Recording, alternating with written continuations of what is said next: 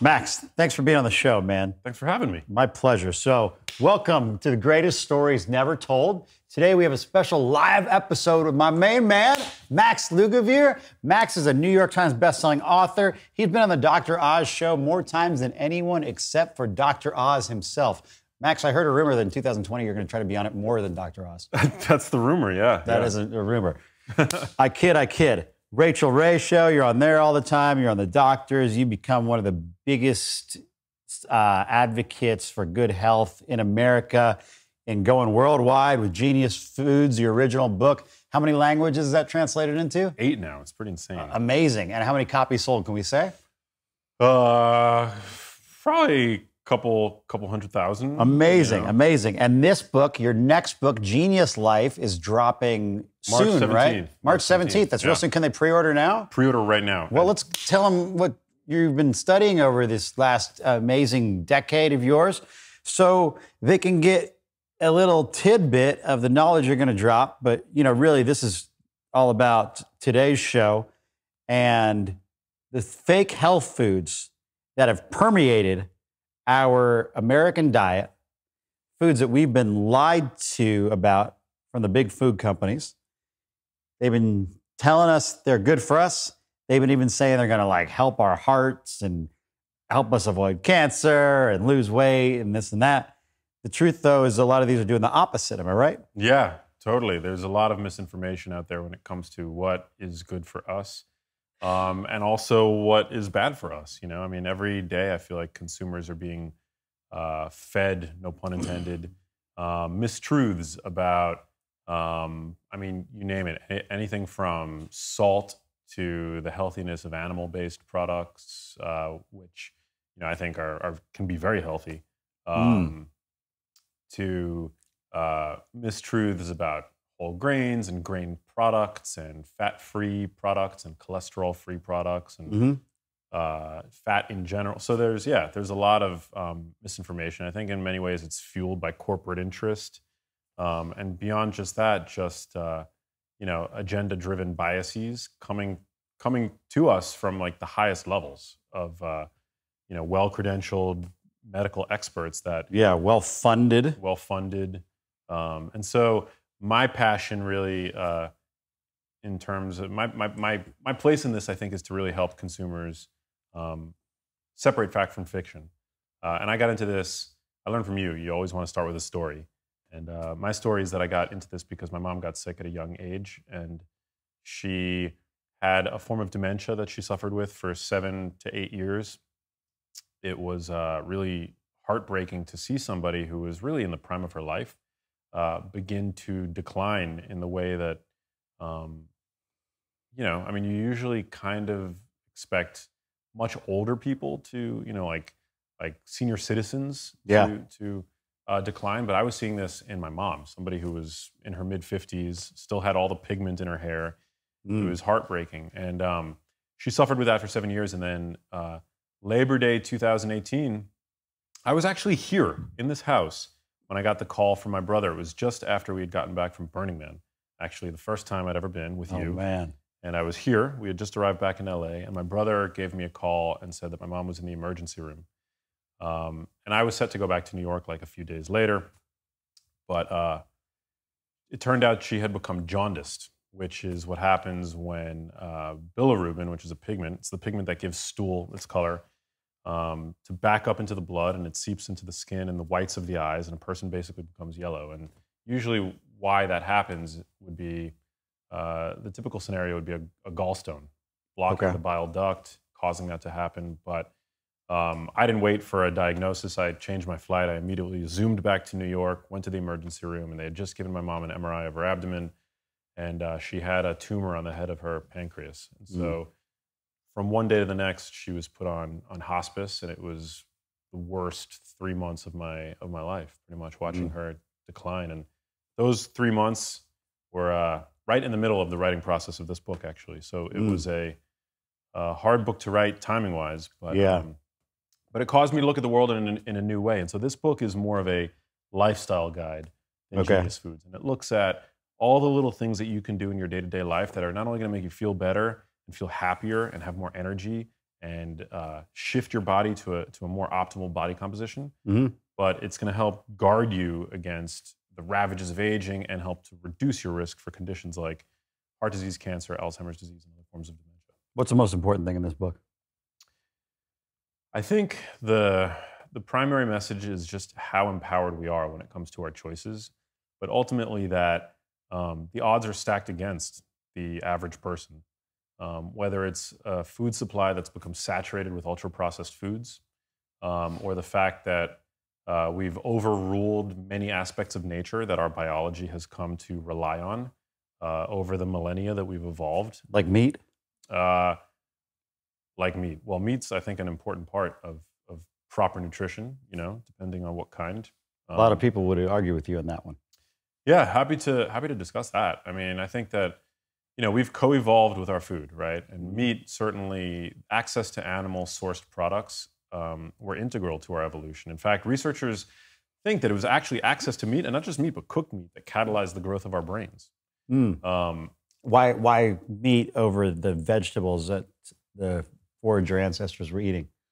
Well, if you think about it from an evolutionary standpoint, an animal eating an animal is absorbing nutrients in their most bioavailable, bioidentical form. Many animals eat other animals. Yeah, many animals eat other animals. And in fact, carnivorous animals were the first animals.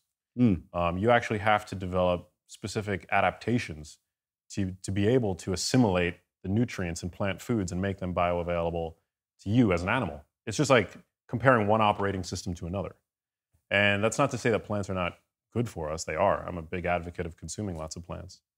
But when it comes to the nutrients that we know are crucial for good health, um, and specifically the ones that are unique to animal foods like vitamin B12 and uh, a, a range of conditionally essential nutrients like creatine, um, things like that. Uh, protein, I mean, protein is, is highly bioavailable in animal products. Um, there's just no better place to get them. Would you say that vegan is a fake healthy diet? Uh, I would say, I would say that it's not an optimal diet from the standpoint of health. I would, yeah, I would, I would, probably, I would say that it's a, um, it's not a healthy diet. I mean, you can make it healthy, Okay. but it's not uh, healthy on its own. Just Oh, by that make- virtue okay. of just by virtue of the fact that it excludes animal products, that Okay. does not make it a healthy diet. That's a great point because you go to a lot of vegan restaurants and you're getting the fried this and that, or the pastas and the pizzas with the cashew cheese that someone like our friend Dr. Gundry would argue is very bad for you with the lectins that are in the cashews. But at the same time, a lot of media right now, Game Changers movie, What the Health, preaching vegan as the optimal diet for high performance, not just a healthier than meat, but the optimal diet. Yeah, it, that's BS. Um, I think that you can optimize the, a vegan diet and you can be a high performing athlete on a vegan diet. There's no Okay. doubt about that. You But can. blanket vegan Blanket does vegan, not no. mean Yeah, healthy. Yeah. In So, fact, would you say the highest optimized vegan diet for someone who wants personal performance, athletics, brilliant in the mind, is on par with the optimal omnivore diet? Uh, no, I think that being an omnivore is going to be superior. Um, but people people choose to go vegan for different reasons, and, Yes. and I have utmost respect for people who make that choice and they do it for you know what they see as being an ethical uh, you know reason. The meat and dairy industry is pretty jacked up. It's pretty jacked up, but yeah. But you know, I think that uh, you can really spend an endless amount of time researching these topics, and um, like the food system is infinitely complex. It really is. It really is, and so we think that we have an understanding of how the food system works, and I barely, I mean, you know, I've barely scratched the surface in terms of my own research on it, and you know, you take your average person who thinks that they know.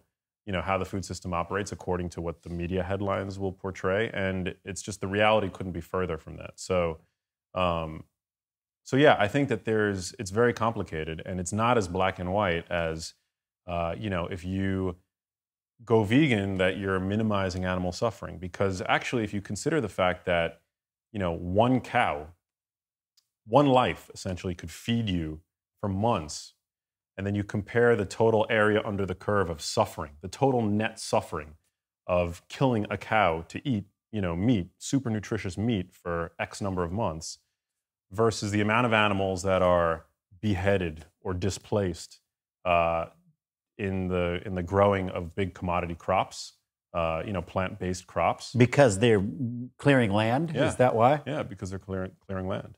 So I don't think that it's a one-to-one comparison at all.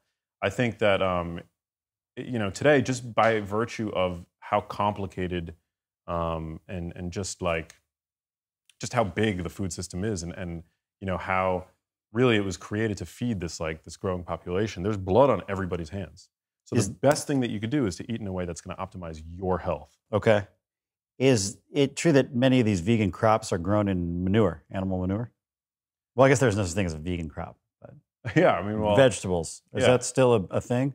Like Um, manure as a as a I, I mean, in a re, in a regenerative agriculture system, you know yeah. organic Yeah. regenerative agriculture. not necessarily organic, but in like yeah, where you have animal husbandry on the land. Yeah, Okay. um, they use. I mean, in the conventional farming system, they use a lot of like synthetic fertilizers and things like that. Yeah. I don't actually know what they're putting on the like on the soil. I Yeah. know what they what they spray the crops with. but- Yeah, I'm not vegan, but I get happy when I hear someone else is because I just know the meat industry has so many bad players. At the same time, there's people like Belcampo Farms that are creating sustainable farming that treats the animals ethically and also gives them the nutrients that make them the healthiest for human consumption. I know you're a big fan of. Yeah, I mean, I think some systems do it really well, and some systems don't. I mean, I don't, adv- I don't uh, endorse the factory farming system at all. But companies like Belcampo, you know, they're they're a great example. They're carbon negative. They're like, I mean, they they you know they take care of their animals. They get them to eat grass. It helps create healthier soil. Um, it actually helps the soil sequester um, carbon, Yeah. which is super important. And the meat is amazingly healthy Yeah. amazingly good for you. I mean, Yeah. anybody who's going to point a finger at their at what they're producing and say that that's somehow unhealthy, um, they're just you know, they would be incorrect in that statement. Yeah. You know, I firmly believe that. Yeah. So let's drop into the seven health, so called health foods that are indisputably bad for you, that vegans and carnivores will agree once they know the science that we're about to talk about today. We should probably be putting in our bodies either not at all or as little as possible. Yeah, sounds good. So, one that you talk about a lot is vegetable oil. Yeah, uh, vegetable oil, you know, corn oil, canola oil, soybean oil. Um, these kinds of oils have really only been in the food, the human food supply for the past hundred years. Um, and that's because prior to 100 years ago, we didn't have the chemistry labs required to create these oils. Mm-hmm. Um, and they all undergo really intensive industrial processing. It's, and they, they basically all endure a step in the production process. One of the reasons why they're so toxic is that they all undergo a, pro, uh, a process called uh, deodorization, which is sort of like the food industry's equivalent of the witness protection program, where they take these, um, these oils that are uh, really actually bitter. I mean, if you can imagine like what soybean oil or corn oil um, or even canola oil, which is very bitter, um, actually might taste like. Well, it's hard to imagine also because you can't squeeze a corn Right, and have oil come out. right. Exactly. So they so use it's very chemically processed intensive. Yeah, it's very refined intense. to turn it into oil. Am I right? Yeah, yeah. And these oils have like, you know, they have flavors that would be unpalatable uh, if you were trying to use them, for example, in salad dressings or granola bars or to fry food in or to saute food in in restaurants. So this deodorization process, which I said is sort of like the witness protection program, it's like it, it basically takes all those, those unsavory oils and it makes them as bland as can be, scentless, tasteless. Um, and that, that process actually creates compounds called trans fats. And we know that artificially created trans fats, there's no safe level of trans fat uh, consumption. It causes inflammation in your blood vessels. Um, it damages your cardiovascular tissue. It damages your brain. Um, it increases your risk for cardiovascular disease, for Alzheimer's disease. So yeah, I recommend uh, avoiding them. But they're still marketed as being very healthy. I see ads in, in magazines all the time claiming that these oils are good for you because they're cholesterol free and they'll help Mhm. reduce your cholesterol and things like that. Yeah, I recently researched the history of canola oil and it was super interesting. So, as you probably know, canola oil was originally called rapeseed oil because it was made from the rapeseed plants, which is kind of like those mustard plants you see growing in California all over when you hike in the hills. And that they were putting this rapeseed oil out, and then when they finally came up with a technology to test it, they found that it was increasing. Is it pronounced urethric acid? Do you know what I'm I think uric. uric acid. Yeah. Yeah. in the human body, which is highly toxic. And so at this point, rapeseed oil was everywhere, and they had to do a mass pull from all of the shelves and stop putting it into food products. And of course, the big food companies freaked out because they were making so much money off this cheaper oil when in the past they'd have to use olive oil or something that cost a lot more money. So they called up a couple of Canadian scientists who genetically modified the rapeseed and made it so it no longer produced that uric acid reaction. And the genetically modified rapeseed plant is what they use to make canola oil. And the name canola actually comes from the words Canada and oil Low because it was created. Canada low acid. Is that what it is? Yeah. Okay, Canada low acid. So it's it's GMO oil, which you know, the GMO thing is a whole nother argument. I've heard interesting points that say there could be genetic modifications that make food better for you, it could make it worse. But make no mistake, canola oil there is genetically modified. Unless you go to Europe, they still call it rapeseed oil. But I think it's a state. Oh, you know what? Though it is the same genetically modified oil. They just actually call it by its old name, rapeseed oil.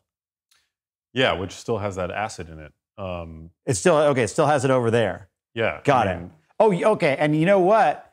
I realized that the when I was doing my research, the genetically modified canola oil is banned in Europe. Hmm. They only allow the natural rapeseed oil. They don't allow the GMO oil. Wow. Throughout Europe, the whole European Union cannot use this. That is in just about every restaurant in the United States. At, like every restaurant. Yeah. It's uh I'm not I'm not super concerned with like GMO just on, Okay. its, on its own Okay. you know on its own footing. I think that I mean the first of all there's only about 12 products. I think it's like actually 10 10 products that are regularly going to be GMO. So if you're buying like nuts, for example, like mixed nuts and it says no GMO nuts, that's really just like fear-based marketing because uh, you'll never find like GMO almonds in the, in the supermarket. Okay. It's like when they say hormone free chicken, but hormones are not allowed to be put in chicken. correct. Okay, Yeah. got it. So all chicken is hormone free in the Yeah, United States. Yeah. Well, added hormones. I mean, chickens have hormones, you know. But Oh, yes. um, but yeah. Uh, but canola oil in general, like no matter where it comes from, GMO or or not, I mean, I, I think it's worth avoiding because they contain these trans fats. They contain a very uh, high concentration of polyunsaturated fatty acids, which are very damage prone. Um, omega, they do contain omega omega threes, but actually, that's not something. That's not a benefit of the oil. Actually, I think that's um, that actually uh, further detracts from its from its um, nutritional value because omega threes are more uh, damage prone than omega sixes. Um, so yeah, you definitely you know I would say want to want to avoid canola oil. There's a bunch of animal studies that are coming out saying that it damages the brain Mm. um, and just it's it's overall not good for your for your health. So use olive oil, coconut oil. Yeah, I, I know you don't have a, a issue with consuming palm oil, though it does do bad things often in the deforestation. Yeah, Would- I mean, palm oil is not. Um, it's primarily a saturated fat. Okay. uh, so it can be used to cook and things Okay. like that. Coconut oil too. It's a. It's predominantly a saturated fat. It can be used to to cook. Um, you can use it as a flavoring and things like that. The primary oil that I suggest that people use is extra virgin olive oil. Extra virgin olive oil. Yeah, close second would be avocado oil. Okay. Uh, it has a higher smoke point, but it's still very chemically stable. Okay. Um, you can cook with both, but avocado oil you can use probably for a little bit higher heat. What's the next fake health food people need to watch out for? Uh, agave is one of these that I hear about all the time. People are make the switch from like refined sugar to agave, and they think that that's a wise move. Agave is primarily fructose. It's like 99% or 95, something like that, percent fructose. Uh, Which so is the sugar that's found in fruit, but no fiber. Is that right? it's it's found in fruit.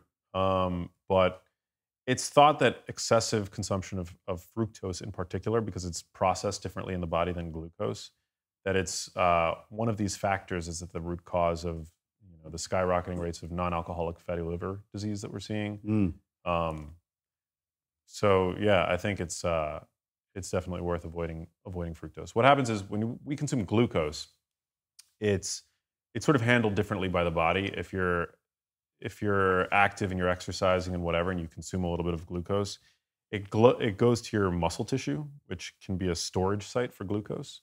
Um, fructose only goes to the liver, and the liver only has a sugar storage capacity of about 100 grams. Um, and for most people, uh, the liver is just always replete with with stored sugar. Mm. Stored sugar in the liver, it's called glycogen. Okay. And so when you consume excess fructose on top of that scenario, it causes your liver to create fat. So that can, you know, cause fat to be stored in your liver. It can, it can um, uh, you know, dump that liver that fat into the blood and cause an elevation of triglycerides, Oh man. which is fat in the blood. So good argument for cutting out sugar as much as possible in general. Yeah, you should cut out added sugar. I mean, the dose makes the poison. Everybody's different, but yeah, I think you should cut out um, added sugar. It's a you know caloric. Uh, it's just empty calories. What about monk fruit, uh, which is also known as stevia, that a lot of people are talking about? Uh, I'm a fan of monk fruit and stevia. Like in moderation, or can you Yeah, just say- like pour that, I mean, I would pour say some sugar on it, Def yeah. Leppard style? Pour some. Um, I could. I think that you can use it uh, however you like to use you know sugar. With- If it's like to sweeten your coffee, you can bake with it and things like that. Um, so And yeah. it's it's perfectly healthy, or Um, I think in moderation, it's probably healthy. Okay. There's uh, you always kind of want to reserve a little bit of caution, and I think one of the one of the potential um, downsides of consuming these things with abandon is that it just keeps you kind of craving sweet foods. that's true. Yeah. So you know, I think it's it's better to moderate uh, your consumption of sweet things. You know, whether it's from a non-caloric sweetener Mhm. or sugar itself. Okay. So we got vegetable oils. We got agave. What's the next fake health food people should watch out for? I would say uh, whole wheat. Um, Gluten. Well, gluten. You know, I, I, Gluten is a form of wheat. Yes, a sir. it's a protein found in wheat, bar- Protein found in wheat. barley, and rye. Yeah. Okay. Um, but I think uh, the fake health food would be, you know, nobody's marketing gluten as like a health food uh, Right. necessarily. But gluten free. A lot of people are talking about gluten free. Is it gluten free? well, that was going to be another fake health. That's So another one. Okay. Okay. So yeah, yeah. let's let's focus though on the whole wheat. Yeah. We'll get to that in a second. Yeah. So most the whole wheat that you're going to see in the supermarket and commercial breads, it's so refined and so processed that it really doesn't matter, matter whether or not it says whole wheat. I mean, it's going to be a So smidgen better for you. It would be like a whole wheat bread loaf or Yeah. whole wheat egg McMuffin. yeah. It's trying to sound healthy by saying whole wheat, Yeah. Like it's a whole grain, Yeah. but it's actually processed to death. Yes. Yeah, if Mm. you were grinding the wheat yourself and you had a more coarse sort of grind to the wheat, then that would that would be a lot better for you. But reg, I mean, whole wheat, as we sort of uh, know it in the supermarket, used to make those breads and cereals and things like that. Um, the problem with eating ultra processed foods like whole wheat bread is that you absorb 100% of those calories as sugar. Whereas whole foods and like even whole wheat that you would grind yourself, you absorb a lot less because your body just doesn't have the chance to break it down fully. Mm. Um, so yeah, avoid avoid the whole wheat breads. Would you go so far as to say fuck whole wheat? Fuck whole wheat. All right, all right. That's I knew, all right. I just knew you wanted me to say that. I just, you know, I wanted to know if you would go that far, but not if you're grinding it yourself, which no one's going to do which nobody's going to do. Yeah, I think I think most breads are processed foods. The vast majority of breads. Bread is like one of humanity's most revered processed foods. I mean, they talk Yeah. about bread in the freaking Bible. But you don't eat bread. I don't eat bread now. So let's mean- move into the gluten free then, Yeah, because that's where you see bre- uh, uh, a lot of bread that you think it might be okay to eat, yeah. because now it's gluten free. So is this number four, gluten free products? Let's go to number four. Yeah, so gluten free fake health foods. So just to be clear, if you're if you're celiac, it's amazing that we have all kinds of gluten free products now that you Okay. can feed your family um, and feel safe about. So I'm not uh, crapping on the proliferation of gluten free products. I think that that's actually a very good thing. Okay. Um, but I think a lot of people will, will reach for these products thinking that they're better for us. and they might be a little bit better for you because I don't think that gluten is, is a health is you know I think it's worth avoiding. Yeah. Um, but uh, but generally they're really not better for you. I mean, a gluten free cookie is still glu- is still a cookie. You know? Still probably has sugar in it. or- yeah, tons of it could still have tons of sugar and things Okay. like that. Um, so yeah, avoiding these like you know fake health foods that uh, beckon you to like to buy them because they say that they're gluten free. Um, but just because a food is gluten free doesn't mean that it's healthy. Dairy free. You're not dairy free, Uh, I, or you are. Wait, I, I, you are dairy free, but you're not vegan. I'm not vegan. No, I Well, you are dairy free I'm not. I wouldn't say that I'm dairy free. I, I mean, I consume dairy You in moderation. In moderation. yeah. Cheese, whole milk, Uh, not really cheese. I'll do butter or ghee to cook butter or with. ghee. Um, milk. No, I don't drink milk. Is that because of the casein? Yeah, there's a lot of lactose in it. Um, Okay. I think if you're going to do dairy, the fer- like fermented forms of dairy make the most sense. Okay. Um, uh, full fat from the you know in terms of like what the data says about low fat versus full fat dairy consumption. Um, full fat seems to actually have a protective effect Mm. against metabolic syndrome, type 2 diabetes, heart disease, and things like that. Mm. So I always try to go for full fat dairy options. Um, I think that there is a place for fat free dairy. Like, you know, I think fat free, like Greek yogurt, for example, is a fantastic protein source. Okay. Um, And is that something that people can buy at the store and not have to worry about a bunch of crap in it, or does it usually have a bunch of sugar and stuff? Well, you want to avoid the fruit on the bottom yogurts, like the yogurts. That's without- just pure sugar, right? sugar, yeah. Okay. yeah. I think that's why the research suggests that people who eat low fat dairy tend to have worse health because the low fat dairy products tend to have all that added junk to make it taste better. Ah, So. I don't actually, it's unclear whether or not the health benefits seen from people who consume full fat dairy Yeah. are from the fat itself in the dairy Yeah. or if it's because they're just avoiding these low fat dairy products that have all kinds of other bullshit added into it. Are we going to go so far as to say that the fifth fake health food is low fat dairy? Let's say that. Yeah, let's say that. Low fat, uh, low fat milk, Yeah.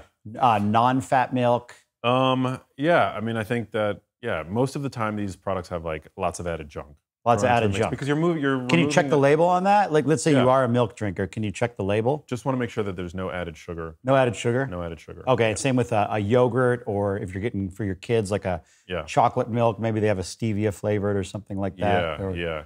Um, chocolate milk is going to be loaded with. I don't know. chocolate. of There's any- no healthy Yeah, chocolate there's no milk. healthy chocolate milk or strawberry, strawberry milk or anything like that. Okay.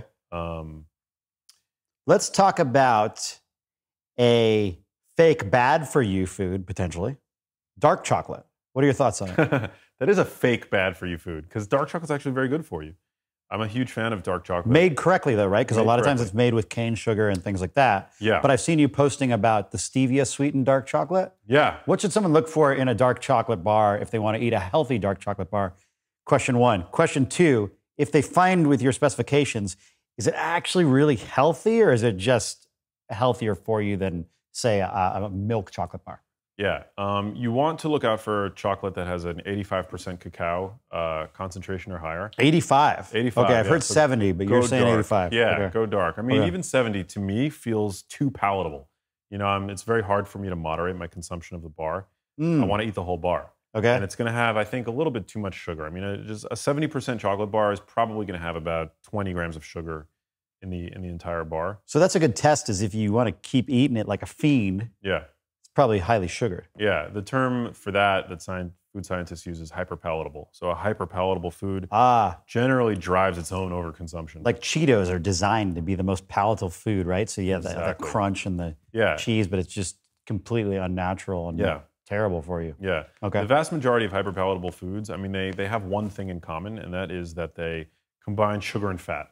Sometimes salt, but generally Mm. it's sugar and fat. Okay. And sugar could be wheat um, as well. You know, Okay. wheat and fat is just a, a really palatable combination. Okay. So chocolate, 85% cacao, sweetened with stevia. How do you feel about xylitol? I'm okay with xylitol. Xylitol or stevia? xylitol, not stevia. cane sugar, not agave. Uh, yeah, I mean, ju- if it's the again the dose makes the poison. If you're looking at an 85% bar Okay. and it has cane sugar in it, Yep. you're probably not getting very much cane sugar. in What's that a 80 gram amount? Because I actually do eat a lot of dark chocolate, Yeah, and I typically look for six to seven grams of sugar per serving.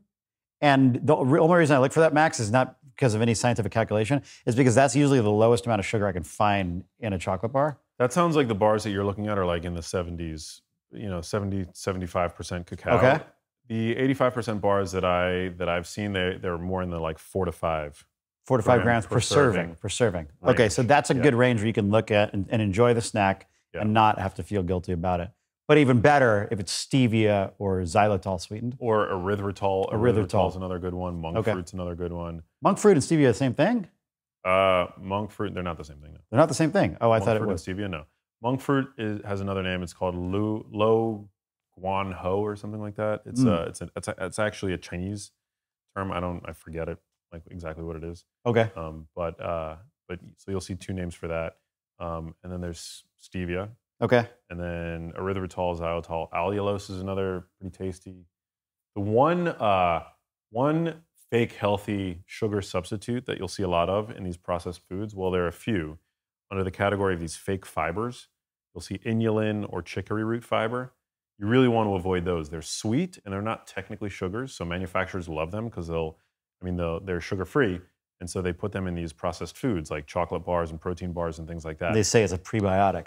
Yeah, but actually, I mean, if you consume too much of, of those, they ca- they can cause like intense bloating. I mean, you're if you eat too much chicory root fiber, you're gonna have to work from home that day. Are there not, though, prebiotic supplements that have those things in them? They do, but you really want to be careful. And the you know a lot of those fibers actually, it's unclear whether or not they truly act the way that we would expect a fiber to act in the body. So Mm. fiber is fiber. We call fibers um, fibers when they're not actually uh, absorbed by us in the small intestine and they pass through us either as insoluble fiber, Okay. where it's literally like uh, matter that doesn't that doesn't uh, get digested by us, nor does it get fermented by the bacteria that live in our in our stomachs. So, like corn cellulose would be an example of a sort of uh, of an of an insoluble fiber. It basically passes through us, and you know it might be good for us because it acts like a sort of exfoliant to the digestive tract. But then there's other there are other kinds of fibers that are uh, soluble fiber, and those kinds of fibers actually get fermented by the bacteria that live in our guts. Um, what's unclear about these kind of fake fibers, like chicory root fiber, is whether or not they actually don't uh, get digested by us. Because some people have found, people who are now using like continuous glucose monitors and things like that, that they'll eat these products that are sweetened primarily with these fake fibers, not expecting to see any bump in their blood sugar, and yet their blood sugar goes through the roof. So I'm very skeptical of any of these products that use these like fake sugar-free fibers um, as sweeteners. Let's talk about diet sodas. Yeah. Um, diet sodas can be uh, good for people making the switch from regular sodas. Better than regular. Okay. Um, but I don't think that they're better than water. Um, What do you think about the artificial sweeteners that are in them? I, I know aspartame, you and I have talked about on a podcast Yeah. on your show before, Mhm. about how that was pushed through the FDA, even though it was giving uh, lab animals tumors. Yeah, I avoid aspartame. Um, I avoid saccharin. I avoid sucralose. Um, a lot of that is just personal decision. I think that if you're consuming a little bit of those things here and there, it's probably not a big deal. I make I've made the personal choice to to not consume them because now what you're seeing are a lot of uh, sodas and products with, um, you know, made made with like stevia things like that, which I think are probably a safer bet. So you can find those out there. If you want to drink a soda, you can find a stevia sweetened soda. Yeah. That's interesting. Okay. Yeah. Because I consider Diet Coke, Diet Pepsi to be some of the original fake health foods, Yeah. marketed as a weight loss plan. But those artificial sweeteners were just coming around in those lab tests is so terrible. Yeah. Yet they got pushed through the FDA for approval.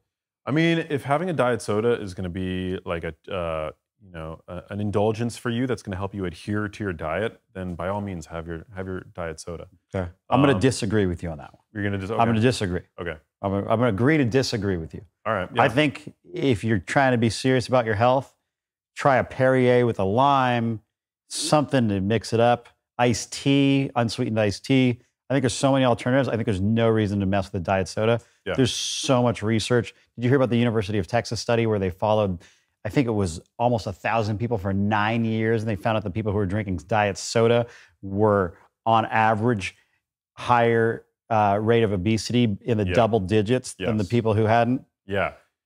I, I don't think that they're good for you. I mean, Okay. I don't endorse them, and I Okay. think that you're better off without them. Um, but you know, I just don't want to like fear monger on on you know where fear, uh, you know, fear mongering is not warranted. But I, I I agree with you. I just think that it's uh, you know, for people who just are like you know trying to make those like baby steps. Um, that Be- better than regular soda. I'll give Yeah. you that. I'll give you that. Yeah, yeah Okay. but I but I choose to avoid them, and I Yeah. um, I do think that even like a stevia flavored diet soda is going to be better for you than you know an aspartame sweetened diet. diet Can we agree that the fake health food number six is conventional diet soda? Yes. Great. What's number seven? Oh man, number seven. Um, I have a list actually. Let's see. There's so many. Uh, oh, I mean this is an easy one. Fruit juice. Fruit juice. Yeah. Like a glass of home squeezed orange orange. juice. Yeah. No bueno. You know, orange juice was invented by an advertising agency. It was It was, yes. interesting. Yes. So back in the early 1900s, the leading ad agency in America was called Lord and Thomas. And the head of Lord and Thomas was a man named Albert D. Lasker, who was an innovator in the advertising world and did a lot of wonderful things in the space and created some of the most iconic brands of our time with his advertising, like Whirlpool, like Wow. Van Camp beans, like Schlitz beer, like Pepsodent toothpaste, which, uh, in fact, Max, when Pepsodent toothpaste came out, only 5% of Americans were brushing their teeth on a daily basis. Within 10 years, that ad campaign got 85% of people to be brushing their teeth. That's amazing. Wow. So next time you French kiss a girl, you can thank thank Albert D. Lasker and the advertising era. accident. Wow. But another client of his was the California Growers Association. The California Growers Association specializes in oranges. It's a huge crop of California. And they are so good at growing oranges in California that back then they had a surplus of oranges, so many that people wouldn't go through them, you know, because how often do you eat an orange? So they got together and they said, well, what else can people do with these oranges? And the growers talked about how, well, sometimes for the kids, they'd make a special treat and take the orange and they'd squeeze it into a cup and they could drink the juice to see how sweet the orange was. And so they rolled out an ad campaign talking about uh, squeeze the juice, squeeze the juice, and went nationwide. Orange juice became a phenomenon and it became also considered as a part of a healthy breakfast, which I think was a part of their campaign as well. You know, that you're going to oh drink the fruit. That's what it was. It wasn't squeeze the juice. It was drink the fruit. wow. That's what the ad campaign was. wow. Yeah, It's amazing. yeah. Yeah, I mean that's unfortunate because fruit juice is basically just sugar water. I mean, what, if it comes from fruit or not? Mm. Even the high pulp stuff. yeah, I mean it's just not a significant amount of pulp. To, it's also pre-digested. Pre-digested. I mean, what I was saying earlier about the fact that when when you process food, the body biologically it it it it affects you differently. Um, I mean, there might be a uh, when you consume and you're juicing with your teeth, like a- an actual whole piece of fruit, the absorption through your small intestine is a lot smaller. I mean, is a lot is a lot slower. Um, this is the same with foods that you know. If you take whole nuts, for example, and you're chewing whole nuts, particles are left uh, unchewed essentially, and it's it's a lot more difficult for you to digest. And in fact, a significant portion of the calories found in whole nuts that you would think you're absorbing actually pass through you completely undigested. No kidding. Yeah, they did a study recently. Um, the U- the USDA funded it, um, and it was funny because the makers of Kind bars, which is a fake health food, Mm. um, they leapt at the opportunity to use the data that uh, was released by the USDA to lower the calorie counts on their on their on their granola bars. So what the USDA found wow. the, they, what they did was they gave subjects whole nuts and they had them eat the whole nuts right and uh, they looked at how many calories were in the ser- how, you know the servings of nuts that they ate so you know they gave your a person we'll just say 100 calories of almonds right then they looked at the calories that remained in the subject's stool kind of a gross experiment but needed to be done Need to be done. very interesting Okay. what they found was that um, there were about 30% of the calories remaining in the stool from the nuts.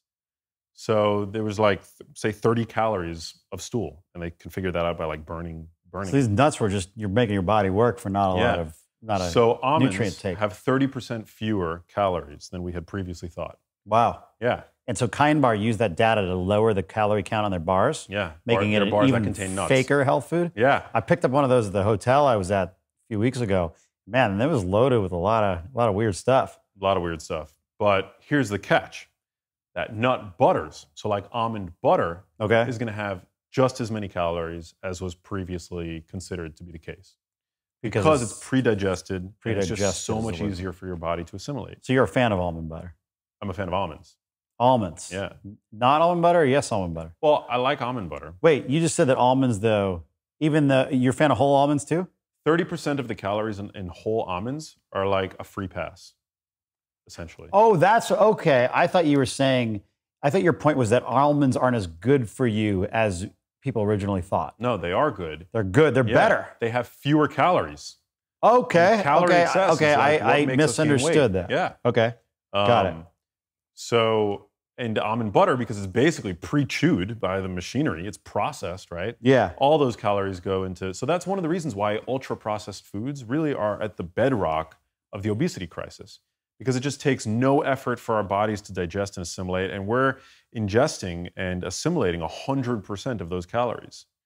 Um, but if you stick to a diet based primarily on whole foods, whole nuts, whole produce, whole animal products, I mean, you're probably passing a significant amount of those calories. It's one of the reasons why I think that calorie counting um, is such a, a poor way to approach your health because it could be subject to such a wide margin of error. We don't know how many calories we're actually absorbing when we eat primarily whole foods. Mm. But ultra processed foods, you're absorbing 100%. 100%. So going back to orange juice, the thing is, when you eat a whole, you know, when you eat a whole orange, you know, who knows how many of those calories we're actually absorbing?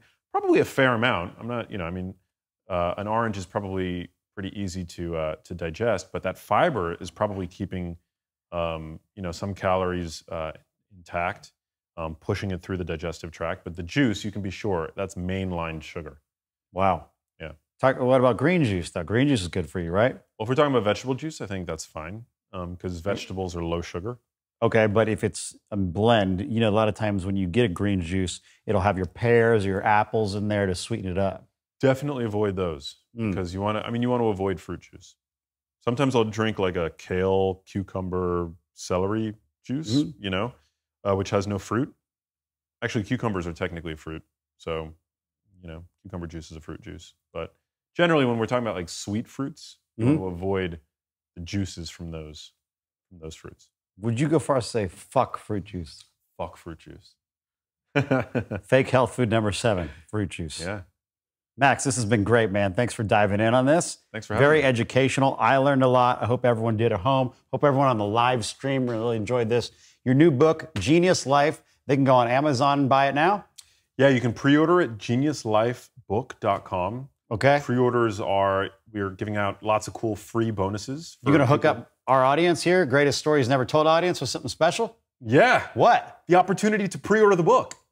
How about a live meetup in Los Angeles with you? Let's do it. I'm down. They can come to the next live show. Yeah, that sounds good. They got to order the book, though. Yeah. Great. Let's do it.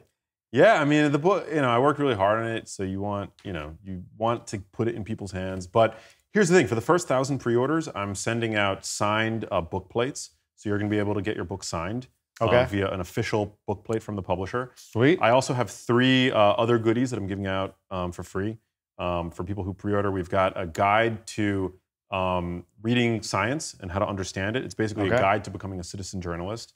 I've got another um, a free PDF ebook that is uh, the Genius Life Guide to Restaurants and Supermarkets. So simple things that you can do when you're shopping or eating out that are going to make your uh, make your experiences healthier. Smart. And a guide to 10 supplements that you, you can use to potentially boost your brain function. Got it. But All this is pre-order. this is about much more than food. This is about Much more designing your entire life around sleep, brain health, body health, muscular strength, mobility. Yeah. It's all in there. I All can't wait to, to read it. I haven't even gotten to dive in yet. I just got my reader copy. So Thanks, man. awesome. Yeah, I'm excited. Thanks, Thanks for, for coming on me. the show, man. So much fun as always. Always a pleasure. We'll have you back soon. We'll do it live with you guys. So write us, let us know you want to come and be in the live studio on it. So, Max, thanks. Everyone give it up for Max. All right. Thank you, guys. Thank you. Thank you. Thank you.